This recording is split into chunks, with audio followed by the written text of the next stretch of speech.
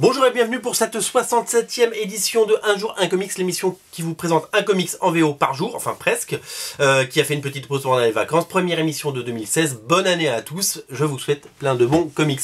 Alors c'est une émission bien entendu qui vous présente un comics en VO par jour, un comics disponible sur originalcomics.fr, votre, euh, bah, votre, votre compagnon de route, votre dealer de comics, le site numéro 1 en France. Et euh, merci d'avoir fait de ce site un succès en 2015 et j'espère qu'en 2016, eh ben, ça marchera toujours autant. On voit toujours autant le compteur électrique.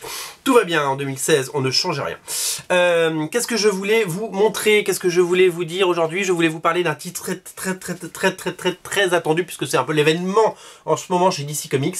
C'est le deuxième numéro de DK3, donc Dark Knight 3, The Master Race, par Brian Azzarello, Frank Miller, Andy Kubert, Klaus Johnson et quelqu'un qui s'appelle Anderson aux couleurs. Euh, je fais deux fois que je ne retrouve pas Brad Anderson, bien entendu. Alors vous avez euh, certainement lu et aimé le numéro 1, encore disponible sur originalcomics.fr. Voici le numéro 2. Euh, il s'agit d'un comics, format comics. voici, et c'est l'édition régulière. On parlera tout à l'heure de l'édition collector. Le numéro 1, euh, avec cette magnifique ouverture d'Andy Kubert, euh, nous replonger dans l'univers créé euh, futuriste par Frank Miller. Donc il y a eu le Dark Knight Returns dans les années 80, il y a eu le Dark Knight Strike Back dans les, années 2000, et voilà qu'en 2015-2016, nous avons le troisième chapitre de cette trilogie qui pourrait ne pas être une trilogie, puisqu'on parle déjà d'un quatrième chapitre. On verra tout ça dans les, dans les mois à venir. le premier numéro m'avait séduit. Moi je suis pas hyper fan euh, de ces euh, de ces d'abord j'ai pas du tout aimé euh, The Dark Knight Strike Back. Je, crois que je suis même pas allé au bout tellement graphiquement ça, me ça me rebutait. Et pourtant j'ai adoré Frank Miller sur Sin City et sur tellement de choses. J'avais un vrai problème les couleurs la mise en page je, voilà je, c'était pas du tout ma cam. Et donc je me suis dit je vais quand même me plonger là dedans parce que d'abord je suis un très très grand fan de Andy Kubert ce dessinateur qui a beaucoup travaillé sur les X-Men sur Batman et sur énormément de comics depuis 20 ans et qui, euh, bah, qui n'a jamais finalement, enfin si, il a travaillé sur des projets comme Origins, les origines de Wolverine, mais ça faisait longtemps qu'il n'avait pas fait un, projet d'ampleur comme ça et je trouve que c'est assez réussi. Alors bah, le numéro 2 euh, arrive là où euh, c'était terminé le 1, donc je vais pas vous spoiler si vous l'avez pas encore lu, et on en apprend un petit peu plus sur, bah, sur ce nouvel univers, parce que ça ne parle pas que de Batman, mais ça parle aussi de tous les personnages qu'on peut qu'on peut voir euh, autour. Euh, il y a Atom, il y a euh, bien entendu Wonder Woman et, tous les personnages de, l'univers de l'univers Dark Knight, hein, parce que maintenant ça s'appelle le Dark Knight Universe, parce qu'il va y avoir d'autres séries autour de ça.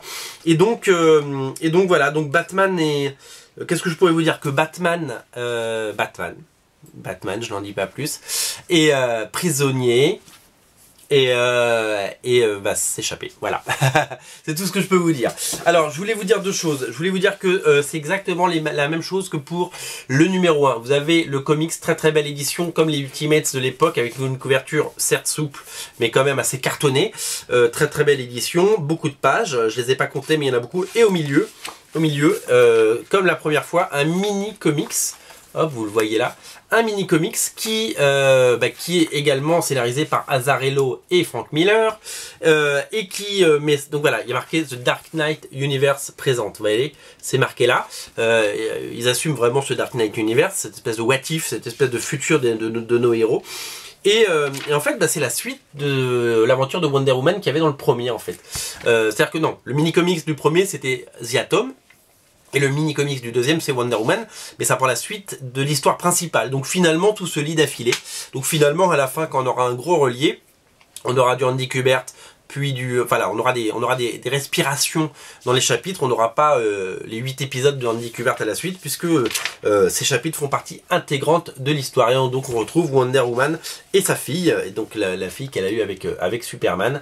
Et, donc voilà, donc c'est c'est magnifique parce que Azarello, qui a travaillé très très longtemps avec Eduardo Risso sur 100 Bullets, sur 100 Bullets, et eh bien ben, ils refont équipe sur ce mini comics, et donc bah, qui est pour le moment c'est du 2 sur 2 parce que le premier était fait par Frank Miller, euh, scénario et dessin, et celui-là est, fait par Miller, Azarello et Risso, et c'est euh, de toute beauté. Donc ça, je peux vous le montrer sans trop vous spoiler, parce que je ne vais pas vous raconter la fin de ce numéro 2, où il y a un énorme cliffhanger. Il y avait un énorme cliffhanger à la fin du 1.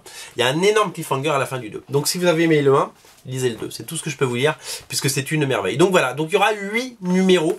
Euh, voilà, et donc, alors moi je vous disais en préambule que j'étais pas fan de ces projets vraiment... Euh, euh, j'ai un peu de mal avec les projets side project d'ici, les gros trucs, parce que je trouve que ça me parle pas trop. Et là, pour le moment, je dois vous dire que c'est un sans faute.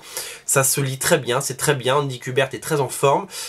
Frank Miller est lisible à nouveau, parce que je pense que c'est pour ça qu'ils ont pris Brian Azarello aussi, c'est pour le, le rendre un peu plus mainstream, on va dire, même si Azarello vient surtout de Vertigo et 100 Bullets, on l'a dit. Euh, et c'est pour le moment un, sans faute et je suis vraiment ravi d'avoir ces deux numéros. Et ce deuxième numéro est, à, vraiment répond à toutes les attentes. Les attentes. Alors, euh, je vous ai signalé, je, vous ai signalé que euh, était sorti, était sorti donc, alors ça c'était le numéro 1 dans la version normale version comics et était sorti ça alors je vais faire le point un peu. Ça c'est la version collector avec une couverture de Jim c'est une, c'est une couverture en dur. Et euh, sur la tranche enfin sur le dos pardon euh, quand il y aura les 8 ça fera un joli dessin. Euh, quand on aura les 8 il y aura un coffret bien entendu. Puisque le 8 sera livré avec le coffret. Donc si vous voulez faire toute la collecte vous pouvez. Et cette édition elle est, elle est, vraiment géniale. Alors je vous l'avais montré dans une émission extra. Pourquoi je vous montre le 1 c'est parce que le 2 n'est pas encore sorti. Nous sommes nous sommes le 4 janvier. Il sort le 20 janvier. En fait, il y a un décalage. Euh, il y avait déjà un décalage pour le 1, mais ça s'était pas vu, quasiment pas vu. Celui-là était sorti et celui-là était sorti 15 jours ou 3 semaines après. Voilà, ils ont décidé de sortir les éditions collector après. Donc, euh, numéro 1, édition collector. Numéro 2, édition collector, mais je ne l'ai pas encore puisqu'elle sort dans deux semaines. Et euh, donc, euh, va falloir attendre un peu. Toujours une couverture de Jimmy magnifique, euh, au crayon à papier. Et donc voilà. Et donc dans cette édition, bah, il y a toutes les pages du numéro 1. Il y a toutes les pages bonus de l'édition du mini comics, mais avec des grandes, pages. Et il y a les variantes cover. Donc c'est une édition hyper complète. Et Original Comics a décidé de vous les proposer ces éditions. Donc pour le 2, 3, 4, parce que pour le moment il n'y a que 4 numéros qui sont sollicité. Pour le donc 1, 2, 3, 4, vous pouvez soit prendre la version normale, soit prendre la version collector. À noter, et ça je voulais vous le dire, c'est un truc hallucinant, c'est que j'ai commencé à le proposer euh, avant Noël. Euh, et que au début j'en ai pris 10, puis, puis 10, puis 10, puis 10. Je crois qu'on est à est à 50 ventes de, cet album, c'est-à-dire que vous êtes comme des fous à, vouloir ce 1. Alors j'en ai recommandé bien entendu, hein, parce que tant que vous voulez, euh, il y en aura. Euh, parce que c'est vraiment une super édition, moi je suis hyper amoureux de cette édition, elle est, très très belle. Euh, c'est travail soigné, donc j'attends j'attends le 2 avec impatience et bien entendu je ferai une vidéo pour vous le montrer. Euh, et voilà, et je trouve que c'est vraiment, vraiment sublimissime et j'espère que j'espère que ça va durer longtemps et que bah voilà, en tout cas moi j'aurai les 8 à la fin avec le coffret. Et vous serez nombreux aussi à l'avoir parce que vous êtes nombreux à, commander de plus en plus ça, euh, cette, magnifique édition de DK3 The Master Race en collector édition. Donc si vous les voulez, c'est disponible sur originalcomics.fr, aucun doute, euh, voilà, vous, les aurez sans, sans problème. Et s'ils ils ne sont plus là, eh bien, euh, ben, je recommande. Voilà, il faut juste attendre 24 heures ou 48 heures, je recommande. Alors, à noter que au moment où vous regardez cette émission, ben, personne d'entre vous ne l'a reçu. Alors que ça fait trois semaines qu'il y a des gens qui les commandent. Ben, la, raison est simple, c'est qu'entre le moment où moi je commande et, je les reçois sur Original Comics, il se passe 15 jours. Et là, avec Noël, au niveau des, réceptions colis, ça a été l'horreur. C'est-à-dire que la commande euh, qui devait arriver la semaine de Noël, on l'a eu que euh, la semaine dernière. Et la commande de la semaine dernière où on devait avoir tous nos Dark Knight numéro 1 euh, n'arrivent qu'aujourd'hui, pour tout vous dire. Euh, donc moi, je l'aurai que demain. Donc, tous ceux qui l'ont commandé, eh ben, ce sera mis en pli à partir de demain, tout simplement.